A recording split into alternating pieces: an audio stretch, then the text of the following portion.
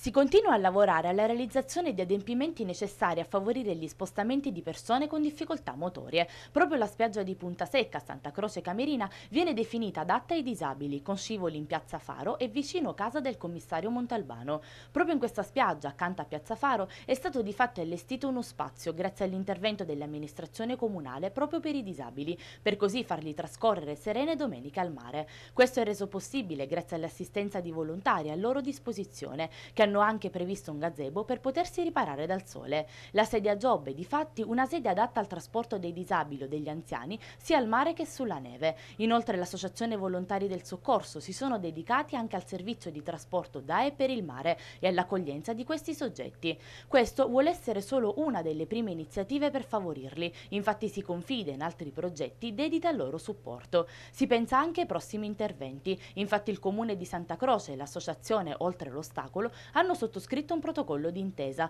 per l'abbattimento delle barriere architettoniche in città e nello specifico in piazza Vittorio Emanuele e in prossimità degli accessi alla chiesa madre. Tre pedane previste anche per accedere alla prefettura di Ragusa ed anche un sollevatore automatico. Queste opere sono state possibili grazie ai finanziamenti di privati e alla raccolta di tappi in plastica. Ciò vuole essere un operato frutto di un gesto di sensibilità e civiltà.